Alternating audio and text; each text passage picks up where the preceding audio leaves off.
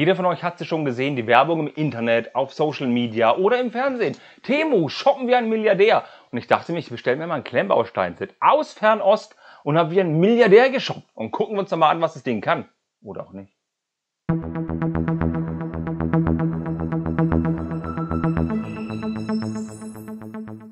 Ich habe hier einen Sportwagen, ein richtig nettes Teil in Dark Bluish Gray oder Tan Kanonengrau, nee, eher Kanonengrau und Gold. Es sind wirklich Goldteile, es ist wirklich so. Und es gibt einen Grund, warum ich das so halte, komme ich gleich dazu. Ich habe dieses Set bestellt, ja? kostete 27 Euro von Temu, kam innerhalb von anderthalb Wochen bei mir an, völlig okay. Wir haben hier ein Set ohne Marke, ohne Name, außer ihr könnt ja lesen, was hier steht. 1259 Teile für 27, 28 Euro. Macht einen Teilepreis von 2,2, 2,3 Cent. Bam! Mega! Und dann habe ich es gebaut. Das Set kam an in einer Kunststofftüte. Diese Kunststofftüte war super zusammengeflext. Wer mein April-Video, 1. April-Video gesehen hat. Genauso sah das aus. Ich blende euch mal das ein. Ich verlinke euch auch das Video da unten. Riesig zusammengepackt und die Tüten, drei Bauabschnitte, tausend, hunderte Teile in einer Tüte. Alles okay. Ausgepackt und so gemacht. Die Anleitung kam sogar relativ knitterfrei an. Und für so viele Teile ist es eine echt dünne Anleitung. Wirklich. Und die, die Anleitung ist auch echt gut. Also keine Frage, die ist schön gemacht, schön alles bebildert, da kannst du dich nicht beschweren. Okay, Maßstab 1 bis 14, nettes Sportwägelchen, hat hier ein, zwei Sachen, ein, zwei Fehler. Ich habe auch eine, wir messen es mal aus. Wir messen es mal aus, bevor ich hier auf die Details komme. Wir haben hier eine Länge von rund 37 cm, eine Breite von Kotflügel zu Kotflügel, muss ja nicht mehr ganz so groß sein, von Kotflügel zu Kotflügel von so 15,5 cm und eine Höhe von, sagen wir hier Spoiler, 8 cm. Gar nicht so klein. Zum Vergleich. Komme ich gleich dazu, keine Sorge. So. Ist ein stabiles Set. Ist ein nettes Set. Sieht gut aus. Hat tolle, tolle Sachen, keine Frage. Ich habe mir während des Baus eine Liste gemacht mit Dingen, die mir aufgefallen sind. Ja, die verlese ich auch gleich, keine Sorge, komme ich gleich dazu. Aber ihr habt den Anfang vom Video gesehen. Das hat einen Grund, liebe Freunde. Und zwar, mal Butter bei der Fisch. Das hat einen Grund, warum das Auto so dasteht. Egal, wo ihr das Auto anfasst, das Ding fällt auseinander. Die ganze Stoßstange hängt an, kein Witz, an diesen zwei Technikkonnektoren auf zwei halben Achspins, die rausgucken. Da musst du nur schief gucken, das fällt um. Äh, das ist ein, das fällt mir immer wieder ab. Genauso wie im Heck. Ja? Im Heck sind diese, diese Lichter, wie die schlackern, die fallen mir immer wieder ab. Genauso wie irgendwelche Teile zwischendrin mal abfallen. Ich lasse die einfach weg. Was wegfällt, ist weg, was runterfällt, gehört dem Hund. Ja? ruhig gewinnen. Nummer eins. Ähm, dieses Set hat von den Teilen eine okaye Verarbeitung. Die Teile fühlen sich okay an, sind stabil, die Farben sind gut. Klar, wie bei Lego, wir haben hier solche komischen Angusspunkte natürlich irgendwo mittendrin. Seht ihr, wir haben so komische Farbverläufe mit drin. Und wir haben massig Qualitätsverlust bei zum Beispiel diesem goldenen Panel hier. Guckt euch mal das an. Ja, ist so. Und jetzt werde einer von euch sagen, hey, da ist aber gar keine Farbseuche drin. Ja klar, blaue Pins sind drin, aber hier ist sogar ein Differential drin. Das Differential macht aber nichts. Wisst ihr warum? Wisst ihr warum? In der Anleitung ist nämlich ganz, ganz hinten, wenn man fertig ist, ein Schritt. Bau den Sitz raus, bau einen Motor ein. Und zwar einen Motor zum Lenken und zum Gas geben. Wisst ihr, was nicht in diesem Set enthalten war? Zwei Motoren und eine Fernbedienung. Fairerweise stand das nicht in der Artikelbeschreibung. In der Artikelbeschreibung stand nichts von Motoren, nichts von Fernbedienung. Aber in der Anleitung ist es drin. Das ist ein bisschen doof. Kommen wir mal zu dem Teil, habe ich gerade gesagt. Die Klemmkraft der Steine ist passabel. Also die halten gut, die sind nicht zu labbrig, die sind, die sind nicht zu fest. Also deutlich ein Tick leichter als Lego, aber trotzdem noch in einem Maß, wo ich sage, die Sachen halten trotzdem, wenn sie gebaut sind, diese Bricks. Ja? Die Pins sind teilweise super schwer, teilweise super leicht. Aber die meisten haben eine gute, eine gute Friction, also eine gute Anpressstärke. Das Einzige, das nicht geht, sind Achsen.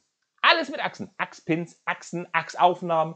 Da kannst du eine Achse haben und irgendwas anderes, was eine Achse ist, das kannst du 90 Grad drehen, fällt alles direkt runter. No Grip, no Friction. Aber das Ding hat auch positive Seiten.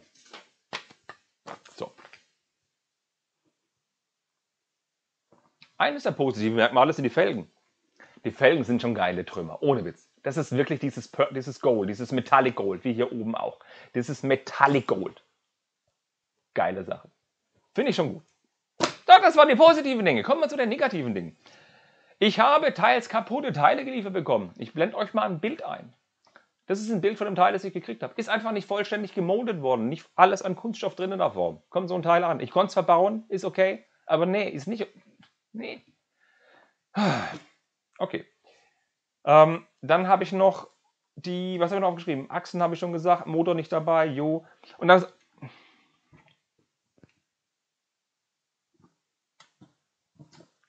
Guck mal rein. Ich nehme mal das Dach ein bisschen ab. Ne, ich nehme das Dach nicht ab, ich mache die Türen auf. Guckt euch mal den Sitz an. Wenn euch beschwert, dass Lego Kack-Sitze hat in einem Auto, dann guckt euch mal den Mist hier an.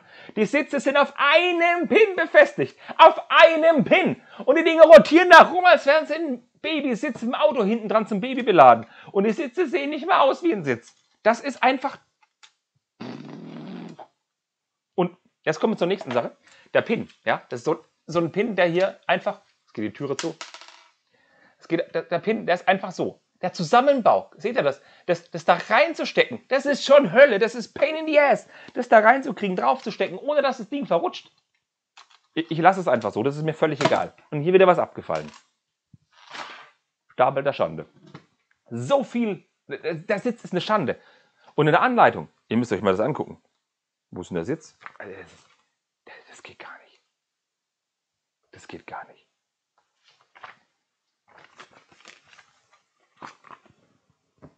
Das ist halt einfach unter aller Kanone. Das macht gar keinen Spaß. Des Weiteren, Lenkung. Wir haben ein Lenkrad mit drin. Wir haben ein Lenkrad mit drin. Ja, das Lenkrad. Das macht aber nichts. Das ist eine festen Achse. Und wir haben hier diese Lenkung mit drin. Hier unten über Zahnräder. Und wisst ihr, wo die hinläuft? Ins Leere, weil kein Motor dabei ist. Wir haben auch keine Hand-of-God-Steuerung. Wir können nicht irgendwo lenken. Wir können nur die Reifen von Hand einschlagen. Mehr können wir nicht tun. Federung. Gibt's nicht. Ist nur Flex von dem Set. Nicht mal sowas ist drin. Was habe ich noch? Felgen sind zu klein fürs Auto, muss ich zugeben. Das Original. Original ist ein Stichwort, komme ich gleich dazu. Die Felgen sind einfach zu klein fürs Auto.